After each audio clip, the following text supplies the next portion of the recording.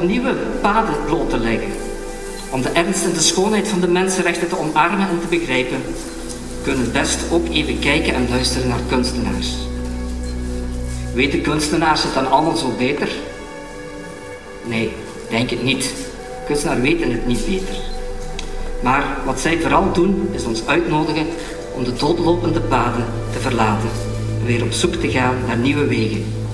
Verrassend, mooi of lelijk of confronterend.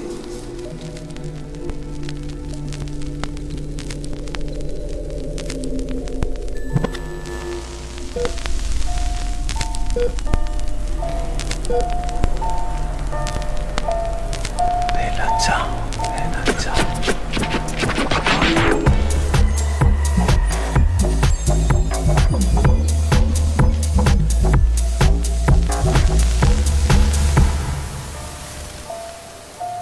Bella ciao, bella ciao, bella ciao.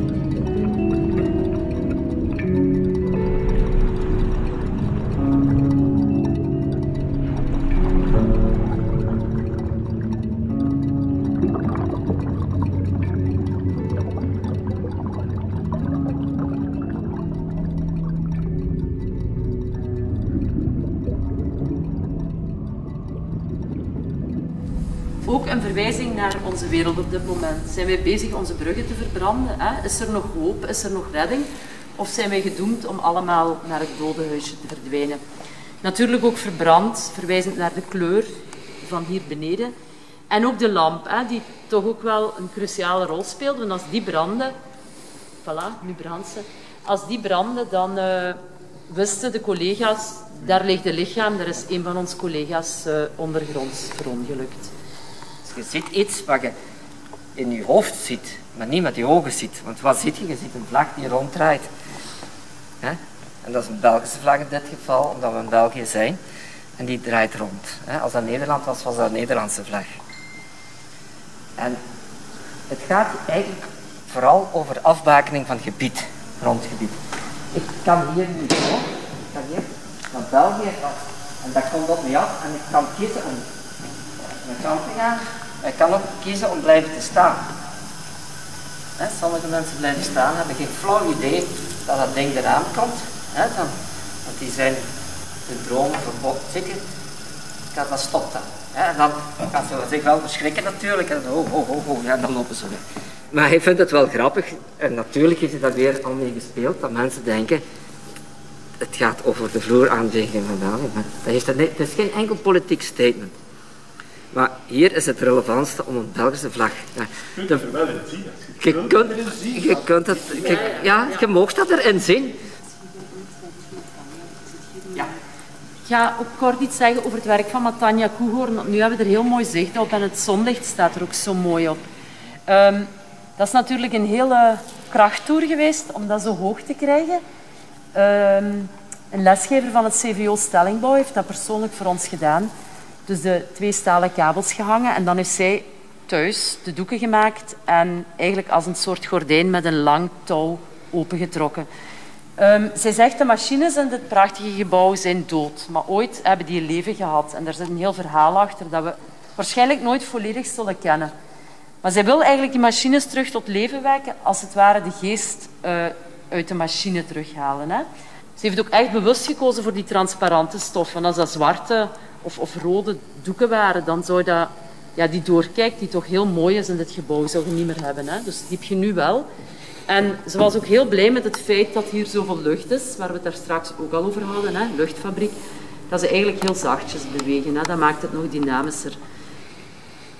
Ze wekt eigenlijk de machines ook tot leven, juist gelijk Matanja doet, maar op een heel andere manier. En ze heeft ook rekening gehouden met de kleuren. Hè. Dat groen is heel duidelijk. Ehm, het zijn allemaal afvalmaterialen die ze gevonden heeft.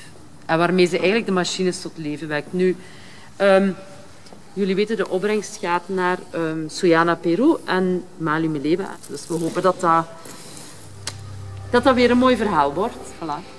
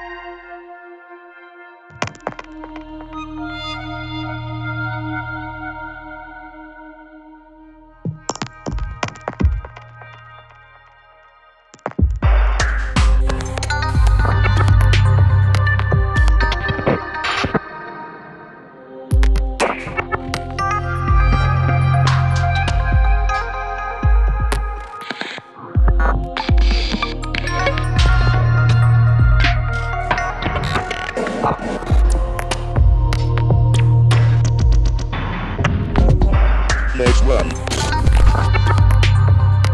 Here we go.